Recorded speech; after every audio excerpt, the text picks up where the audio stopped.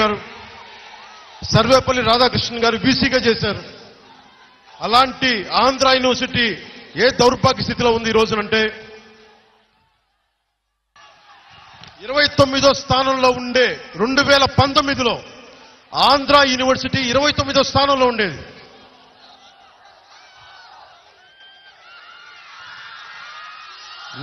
National institution ranking framework వాళ్ళు ఇచ్చింది.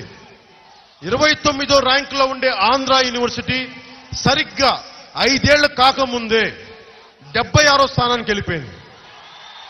Andhra Andhra university దుర్గతి ఇది. ఏమున్నాయి అక్కడ? ఆంధ్ర యూనివర్సిటీని ఏం చేశారు? వైసీపీ కార్యాలయంగా చేశారు. గంజాయి అమ్మకాలు సెక్యూరిటీ వాళ్ళు గంజాయిలు అమ్ముతారు అక్కడ ఆంధ్ర యూనివర్సిటీలో. వైసీపీ నాయకులు పుట్టినరోజులు చేస్తారు. మందు సప్లైలు. విద్యార్థులకి మేము అండగా ఉంటామని చెప్పి హాస్టల్ ఫెసిలిటీస్కి దాదాపు ఫీజు పెంచేశారు రెండు వేల ఐదు వందలు ఉండే ఫీజు మూడు వేల ఐదు వందల రూపాయలు చేశారు ఈ రోజున.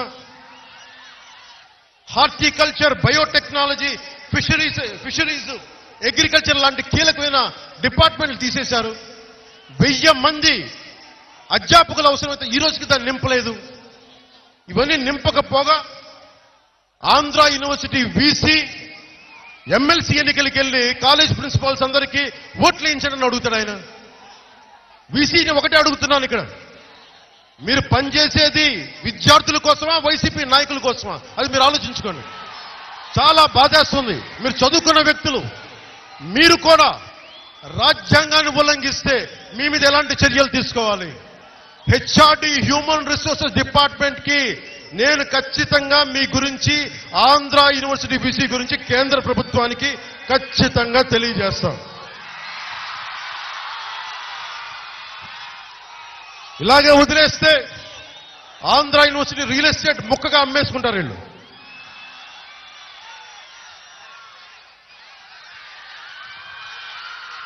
ఎందుకు డబ్ డెబ్బై ఆరో స్థానం పడిపోయిందంటే పిహెచ్డి స్టూడెంట్స్కి ఎంకరేజ్మెంట్ లేదు. రీసెర్చ్ స్టూడెంట్కి రీసెర్చ్ ఫండింగ్ లేదు.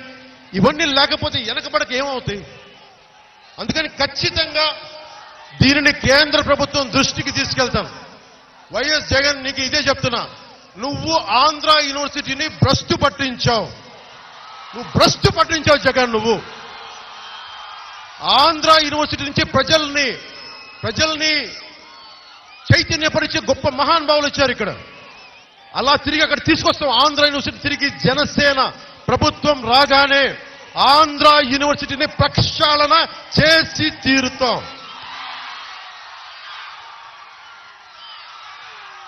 ఇదే విశాఖ జిల్లాకి మాట్లాడితే వైసీపీ నాయకులు ఢిల్లీకి వెళ్తే నాకు ఇంటర్వ్యూలు ఇవ్వలేదు. మూడు రోజులు నన్ను నించోబెట్టారు నిలబెట్టారు వెయిటింగ్ పెట్టారు ఎదవ కథలని చెప్తా ఉంటారు. జగన్ నీకు ఒక రోజు చెప్తున్నా కేంద్రం చేత నీ నేను ఆటలు ఆడించకపోతే అడుగు ఒక రోజు జగన్ ఎమ్మెల్యేల మీద జగన్కి మద్దతు ఇస్తున్న దోపిడీ చేస్తున్న ప్రతి మైనింగ్ చేసి సహజ వనరులు దోస్తున్న కాంట్రాక్ట్లు పెట్టి రాష్ట్రాన్ని అతలాకుతలం చేస్తున్న ప్రతి ఒక్కరి ఫైల్ కేంద్ర ప్రభుత్వం మీ దగ్గర ఉంది. త్వరలో ఏదో ఒక రోజున సమీప భవిష్యత్తులో కావచ్చు ఇంకొంచెం దూర భవిష్యత్తులో కావచ్చు ప్రతి ఒక్కరిది బయటికి వస్తుంది. మీ చర్మాంకం స్థితికి మీరు చేరుకున్నా మేము చేస్తాం. మనకి హోంమంత్రి అమిత్ షా గారు చెప్పింది విశాఖ జిల్లా సంఘ విద్రోహ శక్తుల అడ్డా కింద అయిపోయింది. ల్యాండ్ స్కామ్స్ ఎక్కువైపోయినాయి. మైనింగ్ స్కామ్స్ ఎక్కువైపోయినాయి.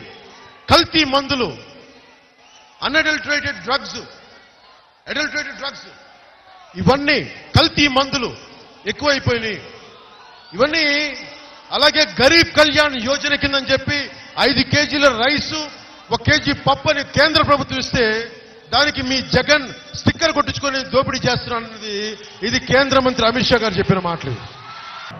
ఒక మాట అంటే విలువ లేదు. ఒక మాట అంటే విశ్వసనీయత లేదు. కేవలం ప్రజలను ఎన్నికలప్పుడు మోసం చేయాలి. ఎన్నికలు అయిపోయిన తర్వాత ప్రజలను గాలికి వదిలేయాలి అన్న తలంపుతో పరిగెత్తా ఉన్నారు. వీళ్ళకు అధికారం కావాల్సింది ఎందుకో తెలుసా? వీళ్ళకు అధికారం కావాల్సింది ఎందుకో తెలుసా? ప్రజలకు మంచి చేయడం కొరకు కాదు. ప్రజల ముఖంలో చిరునవ్వులు చూడడం కొరకు కాదు. వీళ్ళకి అధికారం కావడం ఎందు అధికారం ఎందుకో తెలుసా కావాలి? కారణం ఒక ఈనాడు ఒక ఆంధ్రజ్యోతి ఒక టీవీ ఫైవ్ ఒక చంద్రబాబు ఒక దత్తపుత్రుడు. వీళ్ళందరూ కూడా దోచుకోవడానికి పంచుకోవడానికి తినుకోవడానికి జన్మభూమి కమిటీలతో మొదలు పెడతారు. ఈనాడు ఆంధ్రజ్యోతి టీవీ ఫైవ్ చంద్రబాబు నాయుడు దత్తపుత్రుడితో ఎండ్ అవుతుంది. ఆలోచన చేయమని అడుగుతా ఉన్నా. అప్పుడు కూడా ఇదే రాష్ట్రమే.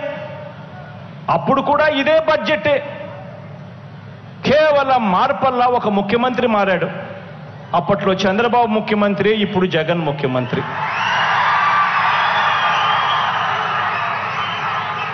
ఈ ఐదు సంవత్సరాల కాలంలో మీ బిడ్డ మీకోసం రెండు లక్షల ముప్పై ఒక్క వేల కోట్ల రూపాయలు నేరుగా బటన్ నొక్కి మీ అకౌంట్లలోకి పంపించాడు. ఎక్కడ లంచాలు లేవు వివక్ష లేదు. మీ బిడ్డ చేశాడు చూపించాడు. ఎక్కడ ఒక్క రూపాయి లంచాలు లేదు. ఎక్కడ ఒక్క ఒక్కరికి కూడా వివక్ష చూపించలేదు.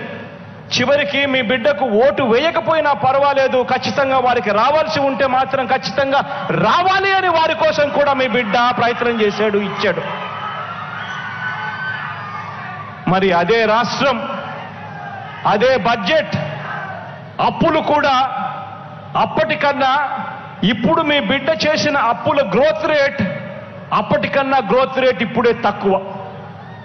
మరి అదే రాష్ట్రం అదే బడ్జెట్ అప్పుల గ్రోత్ రేట్ అప్పటికన్నా ఇప్పుడు తక్కువైనప్పుడు మీ బిడ్డ ఎలా చేయగలుగుతా ఉన్నాడు? అప్పట్లో ఇదే చంద్రబాబు ఎందుకు చేయలేకపోయాడు అని అడుగుతా ఉన్నాను. ఆలోచన చేయమని కోరుతా ఉన్నాను. ఈరోజు నిజంగా ఈరోజు పూర్తిగా కూడా వీళ్ళందరికీ కూడా ఆలోచన ఏ స్థాయిలలో ఉన్నాయి అంటే ప్రజలకు మంచి చేస్తాము అని కాదు. ప్రజలకు మంచి చేస్తాము అని వాళ్ళు చెప్తే ప్రజలు నమ్మరు అని వాళ్ళకు తెలుసు. కాబట్టి ప్రజలను రెచ్చగొట్టాలి అన్న ఆలోచనతో అడుగులు వేస్తా ఉన్నారు. ప్రతిరోజు అబద్ధాలు చెప్తారు. ప్రతిరోజు మోసాలు చేస్తారు. మీటింగులు పెడితే ఆ మీటింగులలో ఇష్టం వచ్చినట్టుగా రెచ్చగొట్టే మాటలు మాట్లాడతారు. చివరకు నలభై ఏడు మంది పోలీసులను మొన్నైతే బాధ అనిపించింది నాకైతే. ఎందుకు ఇలాంటి రాక్షసులకు సెక్యూరిటీ ఇవ్వాలి అనిపించింది నాకైతే. కేవలం రెచ్చగొట్టాలి. రెచ్చగొట్టి అంగళ్ళు అని అంగళ్ళు అనే ఒకచోట తానే స్వయంగా రెచ్చగొట్టి గొడవలు చేయించి మళ్ళీ పుంగనూరులో ఆ రూటుకు పర్మిషన్ తీసుకొని ఆ రూటుకు ఏదైతే రూట్లో పర్మిషన్ తీసుకున్నాడో ఆ రూట్లో పోకుండా పొంగనూరుకు వచ్చి వేరే రూట్లోకి పోవాలి అని ప్రయత్నం. ఆ వేరే రూట్లో అప్పుడే పోలీసులు అక్కడ మీ రూట్లో ఈ రూట్లో నువ్వు అడగలేదు పర్మిషను మేము ఇవ్వలేదు పర్మిషను. నువ్వు అడగనప్పుడు ఈ రూట్లోకి ఎందుకు పోతా ఉన్నావు? అక్కడ వేరే పార్టీ వాళ్ళు అధికార పార్టీ వాళ్ళు అక్కడ వేరే నిరసన కార్యక్రమం చేసుకుంటా ఉన్నప్పుడు మీరెందుకు అక్కడికి పోతారు? అక్కడికి పోతే లా అండ్ ఆర్డర్ సమస్య వస్తుంది అని చెప్పి ఆ అధికారులు పోవద్దు అని అంటే ఇష్టం వచ్చినట్టుగా తిట్టాడు. తిట్టి నలభై ఏడు మంది పోలీసులకు గాయం చేశాడు. గాయాలు చేసి ఒక పోలీస్ సోదరుడికి కన్ను పోగొట్టాడు. కారణం? గొడవలు జరగాలి శవ రాజకీయాలు చేయాలి. ఈనాడు వాళ్ళదే కాబట్టి ఆంధ్రజ్యోతి వాళ్ళదే కాబట్టి టీవీ ఫైవ్ వాళ్ళదే కాబట్టి వాళ్ళు ఏం చెప్పినా చెల్లుబాటు అవుతుంది. ఎలాగో మైకులు పట్టుకొని మాట్లాడేదానికి దత్తపుత్రుడు కూడా వాళ్ళకు తోడుగా ఉన్నాడు కదా అని. శవ రాజకీయాలకు సైతం వెనకాడడం లేదు. ఇలాంటి వారిని గురించి ఆలోచన చేయమని అడుగుతా ఉన్నా. మంచి చేయడం కోసం వాలంటీర్లు అందరూ మీ దగ్గరికి వస్తా ఉన్నారు. ఈ వాలంటీర్లు అంటే ఎవరో కాదు. ఈ వాలంటీర్లంతా కూడా మీ ఇంటికి చుట్టుపక్కన ఉన్న మీ బిడ్డలే. ప్రతి యాభై ఇళ్ళ నుంచి ఒకరిని ప్రతి డెబ్బై ఇళ్ళ నుంచి ఒకరిని వాలంటీర్గా మీ ఇండ్ల మీ ఇండ్ల మీ ఇంటి పక్కన చుట్టుపక్కన ఉన్న వాళ్ళనే మీ పిల్లలే వాలంటీర్లుగా మీకు తోడుగా నిలబడేందుకు సహాయం చేయడానికి వాళ్ళ టైం కేటాయించి సేవాభావంతో వాళ్ళు మీ దగ్గరికి వస్తా ఉన్నారు. అటువంటి వారిని కూడా వదలకుండా ఎంత దారుణంగా వాళ్ళను కూడా మాట్లాడారు అనేది ఆలోచన చేయమని అడుగుతా ఉన్నా. ఇలాంటి నీచమైన రాజకీయాలు రాబోయే రోజుల్లో ఇంకా ఎక్కువ అవుతాయి. రాబోయే రోజుల్లో ఇంకా ఎక్కువ అబద్ధాలు చెప్తారు. రాబోయే రోజుల్లో ఇంకా ఎక్కువ మోసాలు చేస్తారు. ప్రతి ఇంటికి కేజీ బంగారం ఇస్తాము అని చెప్పి కూడా చెప్తారు. ప్రతి ఇంటికి ఒక బెంజ్ కారు కూడా కొనిస్తాము అని కూడా చెప్తారు రాబోయే రోజుల్లో.